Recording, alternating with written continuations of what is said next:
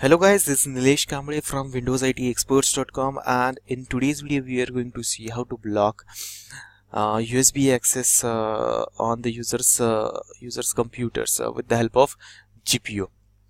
So before going ahead, I would like to say if you like the videos I upload on my channel, please subs please do subscribe. Please uh, like the videos. Uh, if you have any comments, do comments in the comments box uh, please uh, please subscribe to my channel. Please follow me on google uh, google plus. Please follow me on twitter. Please uh, like my page on facebook. So let's go ahead and uh, start the video.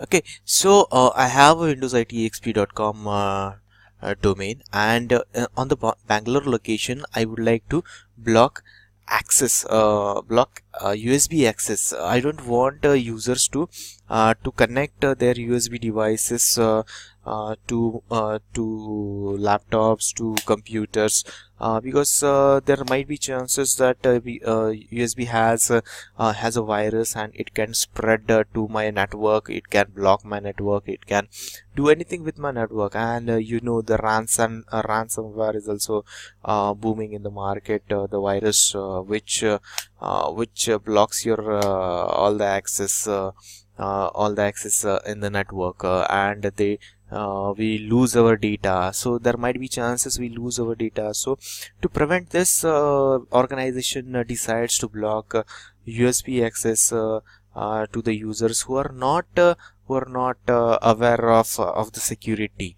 So they don't take care of the security. They don't even know how the secure data is to the organization. So we will go ahead with the blocking USB okay so I'm going to gpmc.msc uh, group policy management editor uh, on the Bangalore OU right click and create a GPO and link to this domain. Bangalore underscore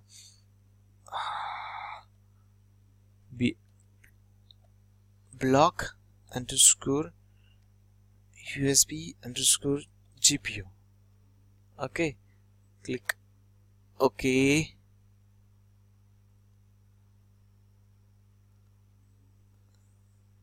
So right click on the GPO edit.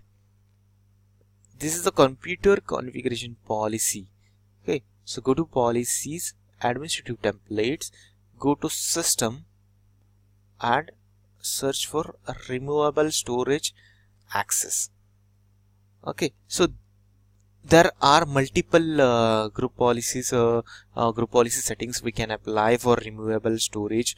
Uh, there is a cd uh, for cd dvd uh, floppy to deny a floppy to deny a removable disk execution okay.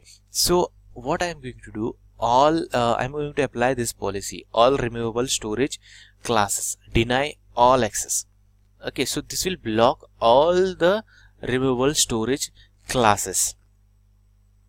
So double click on this click on enable apply and ok so this is it uh, we have apply the block policy uh, USB block policy on the on the computers okay so this is it uh, from today's video and